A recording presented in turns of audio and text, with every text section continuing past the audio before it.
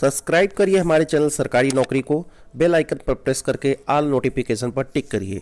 Video को like एवं share करना ना भूलें।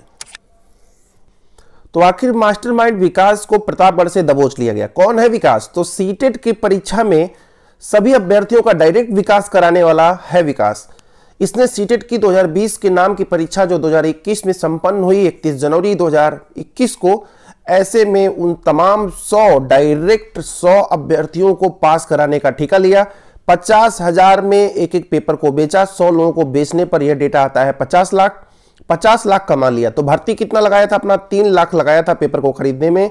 50 लाख रुपया कमाया है, यानी कि सैंतालीस लाख रुपए का डायरेक्ट इसे फ़ायदा हुआ है।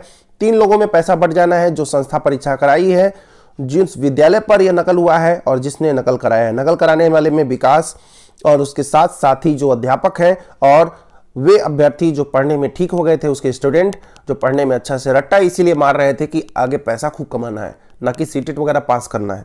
तो ऐसे में बड़ी संख्या में अभ्यर्थियों को पास कराने का ठेका लिया था।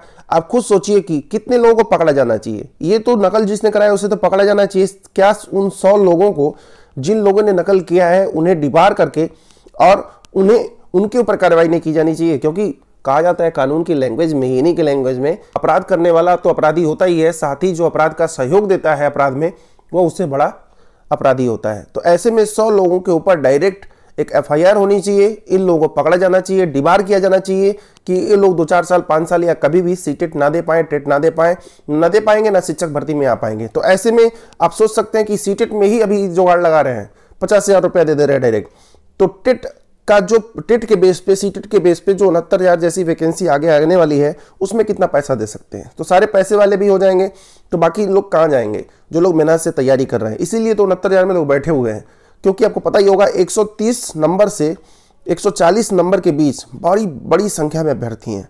इतनी बड़ी संख्या में अभ्यर्थी का पास होना कहीं ना कहीं एक संकेत देता है कि कितने पैसे लगे होंगे। बाल्टी भर भर के पैसा मिला था। काफ़ी सारी वीडियोज़ में मैंने पिछली वीडियोज़ में बताया था कि कितना बड़ा बड़ा संख्या में अभ्यर्थियों को पास कराया गया था, पूरा कमरा पास हुआ था। तो क्या सौ लोग, ये वे लोग हैं जिन्होंने पैसा दिया था, पेड कोर्स किए थे।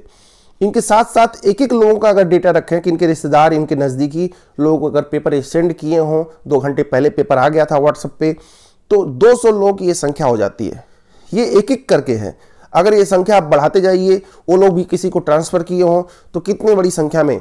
तो 200 का आसपास का डेटा लग रहा है, डायरेक्ट ये वे अभ्यर्थी हैं, जो डायरेक्ट पास हो गए हैं सीटेट की सूचता को तार किया है, इन लोगों को तार तार करना चाहिए कि नहीं, कमेंट बॉक्स में ज़रूर लिखिएगा।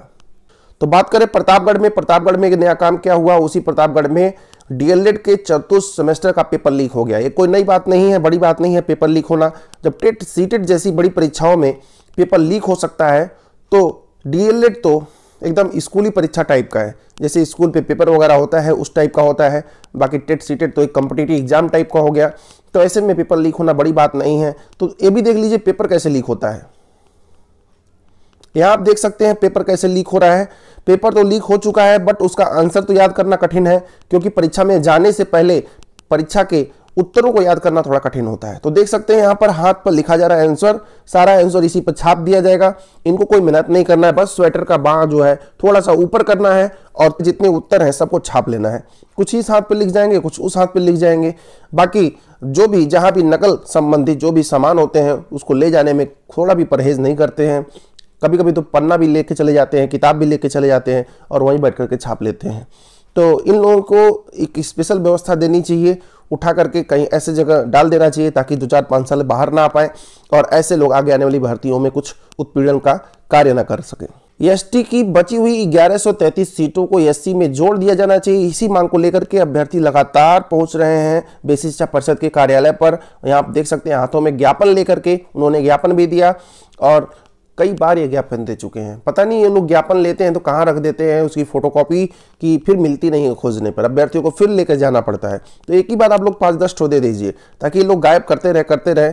चपका दीजिए इनके, कुछ मुँह पर चपका दीजिए, कुछ पीठ पर, कुछ पेट पर चपका दीजिए, ताकि ज्ञापन जब जहाँ भी जाए तो सब लोग उस ज्ञापन को पढ़ें, क्या लिखा हुआ है। भाई क्यों नहीं सीट जोड़ दे रहे हो? सीटों को बचा के क्या करोगे?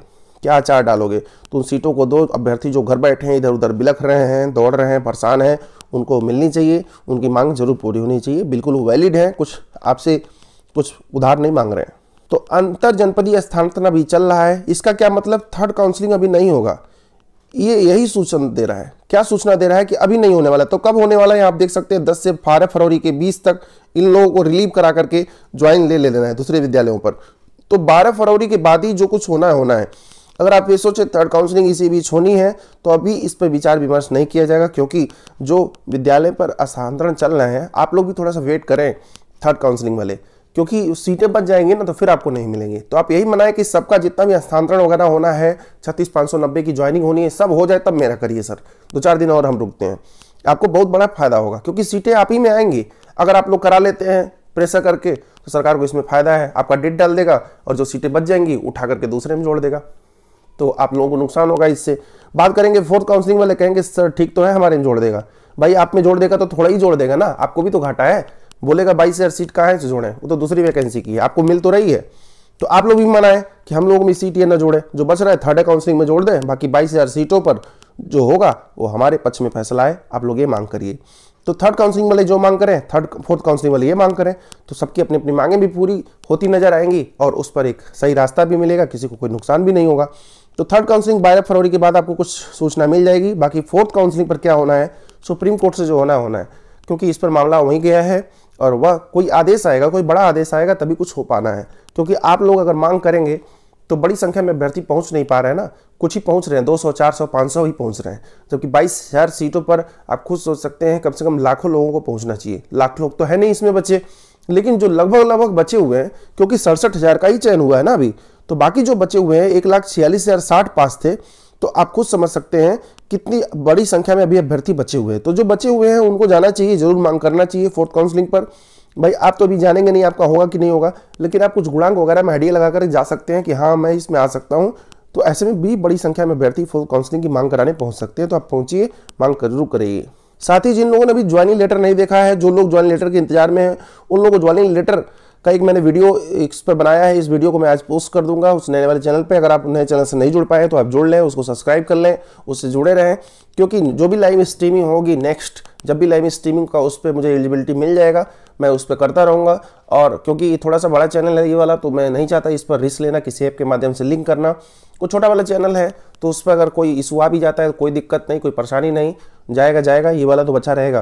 तो इसीलिए मैंने उस चैनल को बनाया तो आप उससे जुड़ जाएँ। साथ ही ज्वाइनिंग लेटर कैसा होता है और किस तरह से प्रारूप आपको उस पर भरना रहता है, सब कुछ उस वीडियो में बताया गया है। तो फ़िलहाल भी बस इतना ही, धन्यवाद।